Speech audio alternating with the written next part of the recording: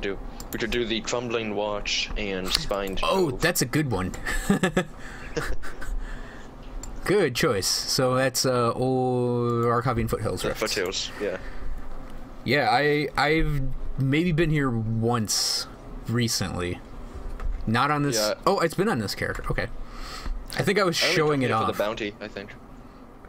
Um, I don't even do bounties anymore.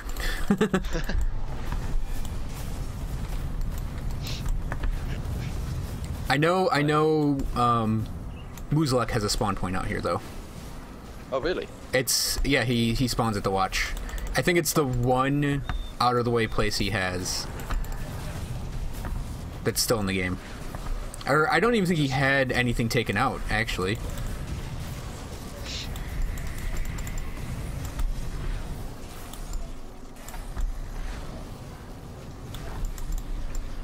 Alright, next on the list. Go. Okay, next on the list is we talk about movies because I don't know that I'm actually going to upload our previous session we did, and we talked about our favorite movies, and I mentioned at least my my least favorite movie ever. I mean, if you want to Which, do that honestly, again, I can't recall what it was. so uh, good it- talk.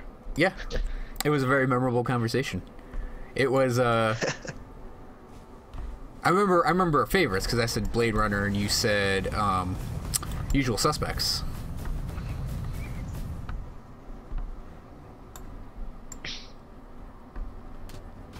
And then we talked about Primer. And uh, Primer Primer's one of those Hey, movies, spawned here. huh? Guess who spawned up in the Crumbling Watch? Oh, really? Because I saw I saw the bones flying, and I was like, "Oh, that was a skeletal guy." Oh, geez, he is there definitely. Yeah. Let's pop that hoarfrost ointment. So yeah, we were talking about Primer, how, ow, how Primer's like, it's a different movie every time you see it because you find something new. Yeah. Oh, he doesn't like me. Come on, boy, come here. Uh, in place, I don't know what's going on. Uh, he's following me. Am I alive? You you are in my game so far. Oh, cool. Am I alive? Is this real life? I just don't know, dude. or is just a fantasy? Okay, form one's done. Nice. I hope I helped. I am I'm sort of moving south right now. Okay. Okay, here you are. You're right next to me. Nice. I don't know if that's actually true. Okay.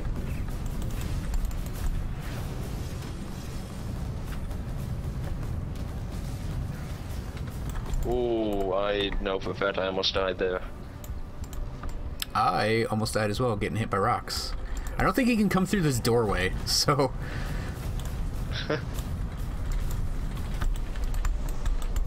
Button my finger slipped on the Electra's flash freeze button, which. Oh, there we go.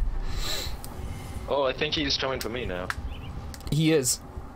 He cluster. He cluster banged me with uh, sky shards. Oh. My portal is up. So, anyways, um, yeah, in Primer, there are th- there are scenes like that, that one where they're like looking for a cat, and it's like, Yeah. and it's like, oh, he gained all that health back because he killed me, and I didn't, Yeah. I didn't put a, a Hoarfrost ointment on. so, uh, yeah, it's like they're they're wearing those sweaters that they have when they go out at night, but it's like I don't. I know, I know. We mentioned this. It's like we don't quite know when that takes place in what timeline, and with like what version of them it is. No, you don't. Yeah. Can I shoot him from up here? Awesome. Of course, a group of enemies spawn right next to me, and I'm dying because of it. Oh no, I think he was killing me there. yeah, he Um, threw sky shards at me. I want to take out the priests and Between uh, device stress, which isn't a good time.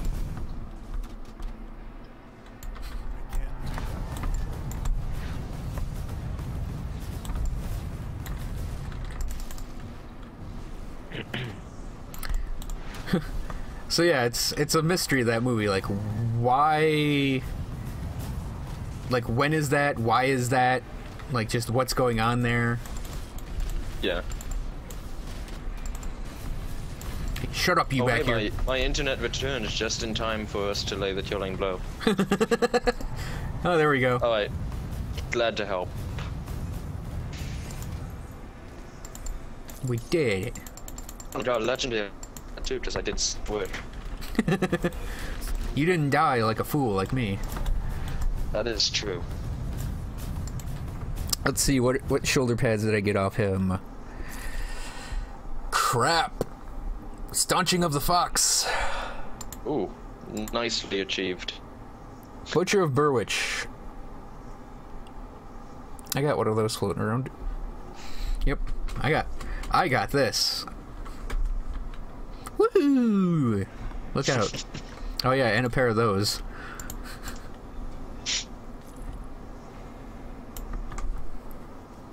And then yeah, my least favorite movie uh, is Star Trek Into Darkness. Oh yes, I remember that now. Yes, yes. I could I could probably do like a two hour video, a video longer than the movie explaining everything wrong with that movie. Bet you're so happy that there's, well, maybe not even this. Maybe it's confirmed at this point. I don't know. That they're making a third. Uh, it's coming out in a couple weeks. yeah, it's Star Trek Beyond. I love that series. Yeah, Star Trek Beyond. The Enterprise gets destroyed and the crew is marooned on a planet. Yep. Exciting stuff. They're destroying the flagship ship. so you have Shadowstrike obviously on this character, right? Yes. It looks like Blitz. I just saw you go charging across the battlefield like it was Blitz. Funny. Awesome. Oh, okay. I'm going to assume uh, a trap. You cut out there again. Yeah.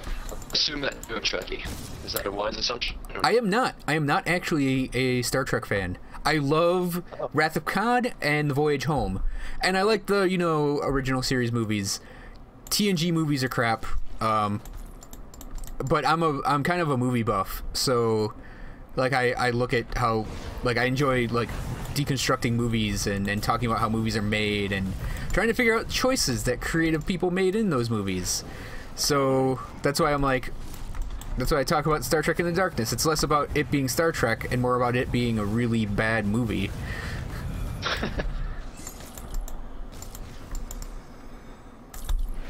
and it it goes beyond it being Star Trek. It's all about like the story and and how various things are are just don't work in that movie.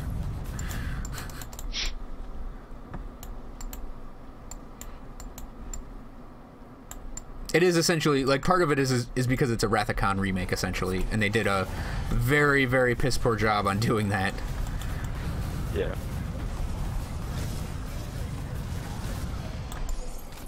Like I have probably seen mm, maybe about three or four episodes of the show. Oh. Maybe.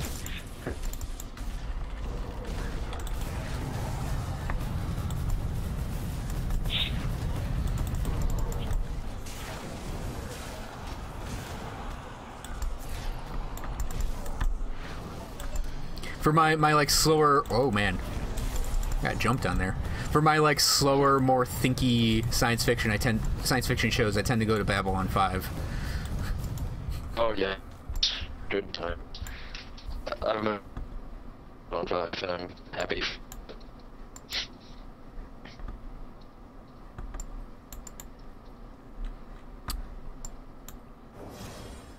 I actually have trouble convincing people to start watching Babylon 5 because the first season not all that fantastic.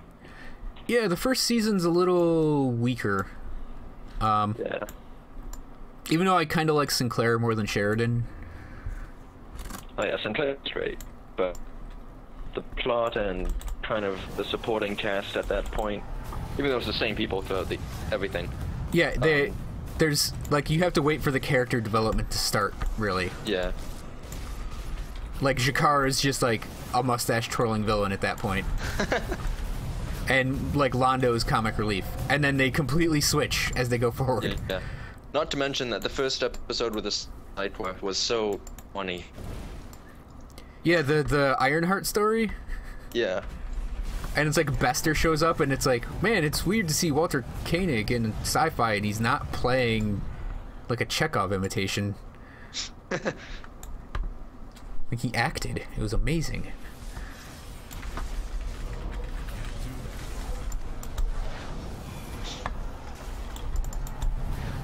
But then, yeah, as it, as it goes on, it does definitely get better. And I think season hero here. he, there is. um, I think season three is like the peak of the show oh yeah, definitely. because season four they had to like rush it a little bit. Mhm. Like the ending to the Shadow War, Vorlon War was very sad. Yeah, it's like it's like a couple episodes, and they said they actually, um, JMS actually said that would have gone on for an episode more. Otherwise, it would have been more like Minbari Civil War stuff. I did like um, all of the Earth and Mars stuff though. Yeah, I thought that was well done. the Earth Civil War stuff is really good, like really good. and then season five, it's less about the story and more about it being a victory lap. yeah. Have you seen um, oh crap called The Crusade? Yeah. Um, I'm so sad that that show got canceled because it was starting to get pretty good. It was actually really, really impressive toward the end, and then Um, so speaking of Walter Koenig, he was supposed to be in an episode in that season, the last Bester episode, and it got to the point where he was given the script, and he had his lines memorized, and they were like prepping to film it when the show got canned. So his whole oh, so like probably what would have been the best Bester story got shit canned because TNT are a bunch of assholes. yeah. Oh, I know a place. Tomb of Oh, Korvaak. nice. Oh yeah, So we can go to the Asterkarn Rift and then head back a little bit. yeah. Um, Yeah, it's so it's so sad that that show never took off. I want to flip the record first. Okay. yeah, like the Crusade and Firefly. The fact that both of those got canceled just kind of ruined me. yeah, well, Firefly I couldn't get into unfortunately, but Oh, Crusade I got. I definitely got into. Um, like for Crusade, like a couple scripts got put online and up for auction and stuff, including the finale, which would have been Gideon listens to the apocalypse box and it tells him about you know certain events going on and he follows the the the advice it gives and it eventually leads to him finding the ship that destroyed the uh whatever his former ship was that like human sh- yeah. the the human shadow hybrid that destroyed his initial ship and in the end the spec ops for the earth alliance hunt him down and the last scene was envisioned to be the crosshairs of a sniper scope on his head and then it it goes to black and then you hear the shot go off. And that's how they would have ended season one. Huh. and then season two and three like maybe even in season two they would have found the cure for the plague. And it would have became like the oh we have to stop earth from developing shadow tech. And the the excalibur would like go rogue go independent. Sort of like how b5 did it in the show in the first show. Yeah. That sounds all amazing. Yep. And TNT was like, well, this isn't going to work because it takes. Blah, blah, blah, blah, blah." They just didn't get it. And they wanted to interfere constantly. Like, they actually were like, you know, maybe sh- maybe Dureena should get raped in an episode. That'd be dramatic. And it's like, you don't know what you're talking about. This is Babylon 5.